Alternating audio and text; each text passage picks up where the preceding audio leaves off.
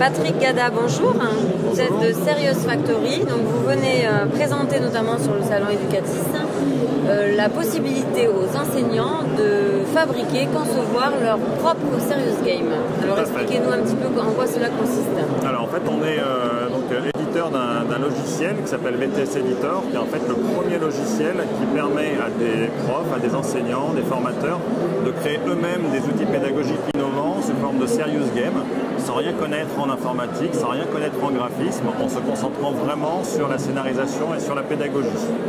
C'est un logiciel qu'ils vont pouvoir utiliser de manière complètement autonome ou entre collègues pour créer des projets en commun.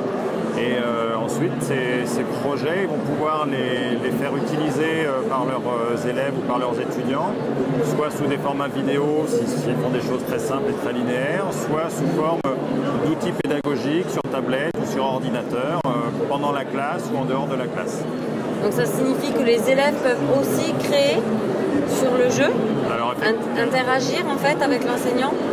D'une part, les élèves vont pouvoir utiliser euh, les jeux de manière interactive pour répondre aux questions euh, que le prof aura prévues dans le scénario.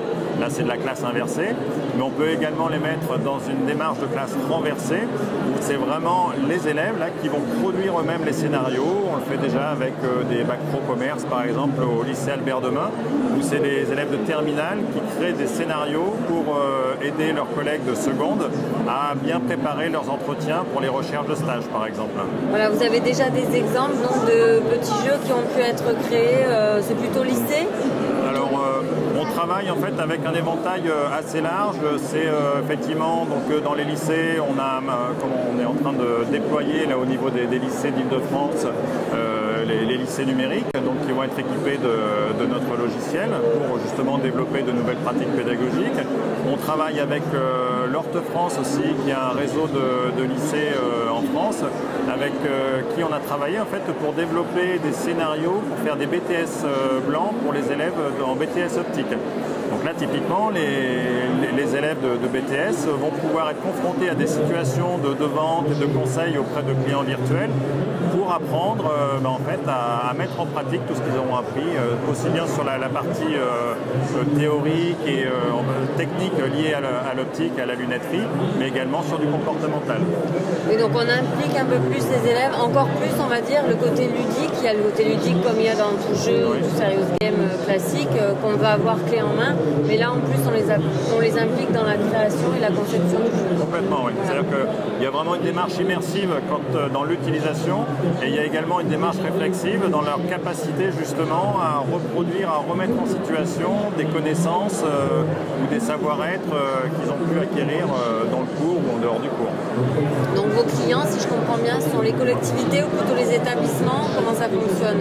Alors en fait, ça va, ça va varier. On peut travailler aussi bien avec les collectivités, avec les régions ou avec des groupements d'écoles on peut travailler aussi de manière très ponctuelle avec euh, des enseignants, avec des profs, parce que enfin, ça reste quand même à la base un projet pédagogique, même s'il y a un logiciel et il y a de la technologie derrière, c'est quand même à la base un projet qui va nécessiter d'avoir une vraie démarche pédagogique conduite avec des objectifs, avec euh, des, éléments de mesure. Donc euh, effectivement, les, enseignants sont très très impliqués dans la démarche.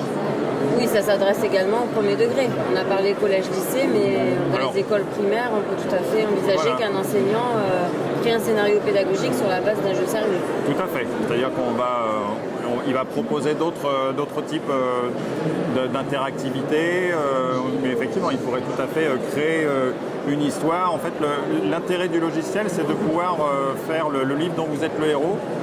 sans, voilà, sans aucune connaissance technique. Donc après, l'histoire qu'on va raconter à l'intérieur, elle peut être vraiment, elle est, elle est liée à l'imagination de l'enseignant et, à, son objectif pédagogique.